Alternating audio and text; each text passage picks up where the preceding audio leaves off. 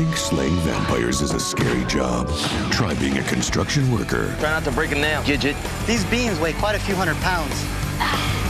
or a sales clerk. I heard you have a mummy hand. An all new Buffy